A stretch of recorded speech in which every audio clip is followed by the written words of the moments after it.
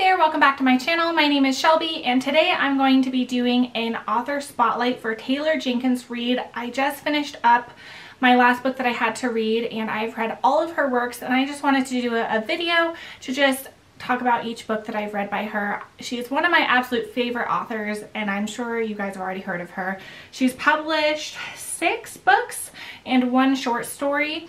Four of are like romance and two are more historical fiction and then the short story is kind of a contemporary just women's fiction read. And I'm just going to go in order of publication. I'll link them all down below and let's get right into it. So the first one I have to talk about is Forever Interrupted and this was the first Taylor Jenkins Reid book I read and I loved it. This was about a couple named Elsie and Ben. They got married after six months of dating and within a week of getting married, Ben dies and Elsie is left to pick up the pieces. And Ben's mother, named Susan, I believe, she comes into town to handle his effects and he she learns that Ben and Elsie eloped and she had no idea who Elsie was. And so there's a lot of drama that goes on there. And it alternates between you learning about Elsie and Ben and their relationship, as well as the aftermath for Elsie and her relationship with Susan. And it is really touching not only her love with Ben, but also her mother-daughter type of relationship with Susan. And they are able to heal one another even though they don't really know each other. And this one I remember just got me so hard and it was a definite tearjerker and I definitely gave this one five stars. I think I gave all of her books about five stars, above four, that's for sure. And then the next one I have to talk about is After I Do. And this one I read like a week or two ago. Really liked it. I don't know it took me so long to get to it. But this follows a married couple named Ryan and Lauren. They've been together since college when they were 19. Haven't really dated around. And now they're 30 years old, 11 years later. And they've been married for I think 8 years or something, 9 years. And they aren't really in love anymore. They don't love each other. And instead of getting divorced because they really don't want to, they choose to take a one year separation. And that means during that one year, they'll live apart and they won't communicate. And it's time for them to find themselves. And Lauren goes on this endeavor and dates and discovers what she likes and what she doesn't like. And they come back together at the end of the year and they decide, are we going to stay together or are we going to get divorced? And this one I liked so much. I wasn't expecting to. And they learned they could live without each other.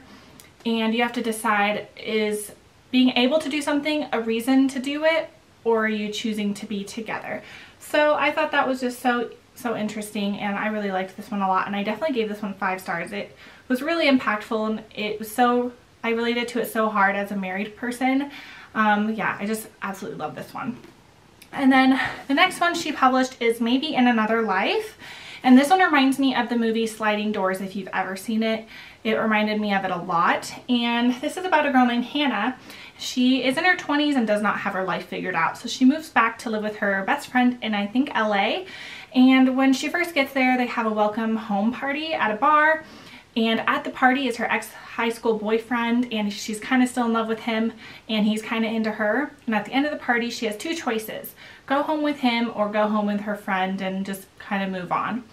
And it basically discovers what she would do if she chose each option. So alternating chapters of each choice. And what was interesting is you are rooting for one person in my opinion and then at the end you don't really care who she ends up with, you just want her to be happy. And I can't really decide which ending was better, um, if she chose to go home with her friend or if she chose to go home with her ex-boyfriend. And I loved this one. I love stories that kind of question um, kind of like sliding doors. What would one moment in your life change? Like, would it really change the trajectory of your life? Or would it really be the same and it's because of who you are, you choose the same things? So I found this really interesting and it was a really cute like romantic book, but I think it had a lot more substance than that. And then the second one I read by her is One True Loves. And this one is about a married couple named Emma and Jesse. They're high school sweethearts. They got married a year ago and now it's their one year anniversary and they are separated because Jesse is, I think he does something where he has to travel and his plane goes missing and he's presumed dead. And then time passes and the wife Emma moves on and she rekindles a relationship with a high school guy she knew named Sam. They get engaged and then right before their wedding, all of a sudden Jesse returns from a deserted island. He was stranded on an island and he's super injured and scarred and he expects to be married to Emma and he wasn't expecting that she would be engaged. And she has to decide if she wants to stay engaged to Sam or if she wants to go back to her husband Jesse. And it's a really hard dilemma to handle. And this one again also had me crying a lot. It was really good. And it makes you question like what is the right choice? And is there a one true love for everyone or is it kind of just happenstance? So this one really, really good. And then I, this I think is my favorite, and it's a lot of people's favorite.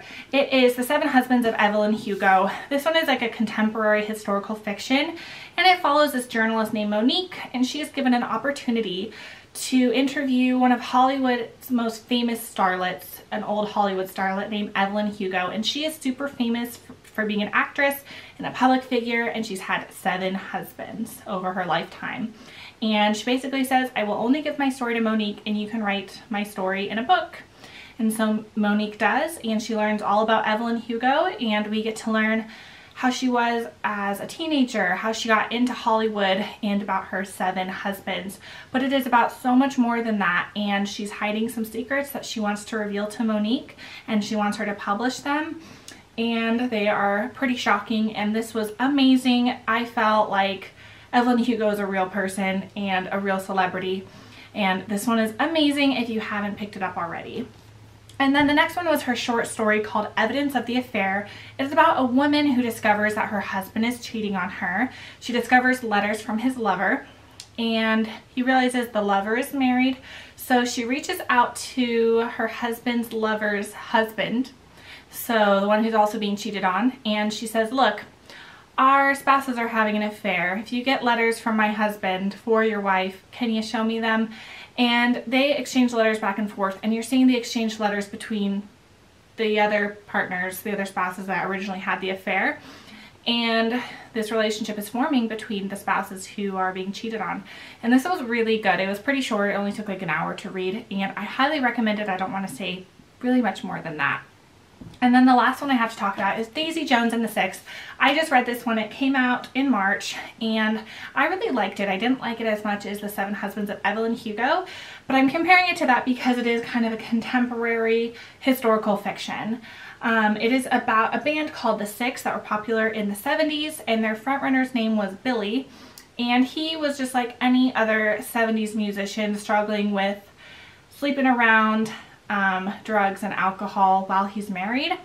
And they bring Daisy Jones, this really free-spirited, really talented rocker chick who has a super strong personality. They bring her into the band and her and Billy sing together. And it is about what happened when she joined the band, what happened before and what happened after.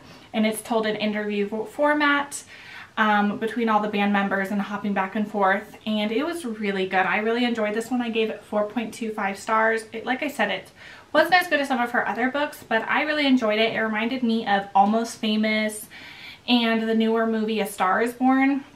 It reminds me a lot of those movies and thoroughly enjoyed it, especially if you like 70s rock music. This has all original lyrics in it, so I thought that was pretty cool. So those are all of the books that she has published. I highly recommend her. If you are a fan of women's fiction, she writes really good women's fiction. If you're a fan of historical fiction, she writes that too. She writes a really wide range of genres and I like that about her. Um, and I like how they're not just surface level level romance books. They are deeper than that and I think that's what I love most about them is they leave a lasting impression with me and I don't ever forget what they're about which sometimes with romance you kind of read it and move on but these have a lasting impression and I absolutely loved almost every single one of them. Let me know what you've read by Taylor Jenkins Reid and if you have any other recommendations that are similar to her I'm always up for recommendations. I will link them all down below and I will see you guys on my next one. Bye.